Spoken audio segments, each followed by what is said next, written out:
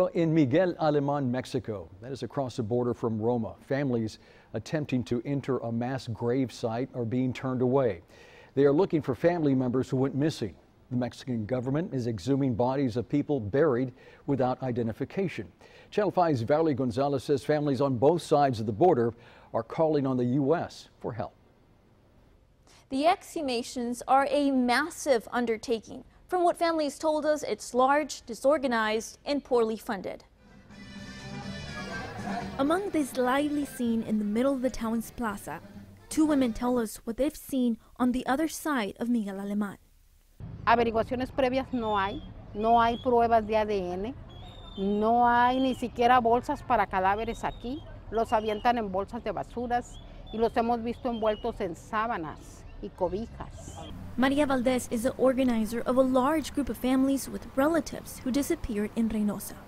El colectivo tiene 1.600 personas, que todos tienen un familiar desaparecido. Algunos tienen dos, algunos tienen tres, algunos son familias completas. Losing just one leaves a lasting impact. This mother we'll call Victoria for her safety tells us armed gunmen walked into her son's workplace in Avame and kidnapped him. She filed a police report and agreed to meet investigators at a restaurant later to give them some extra documents. Again, armed gunmen went in, kidnapped the investigators, and shot three people dead. She's kept looking for her son. In 2015, someone told her they found him in a pile of burned bodies in Tampico. Muchos cuerpos que estaban en el SEMEFO de Tampico se los trajeron a Reynosa. Por eso estoy yo aquí. When she asked for the body, no one knew where it was. It's an example she and Valdez give to explain the disarray encountered in Mexico, now in Miguel Aleman.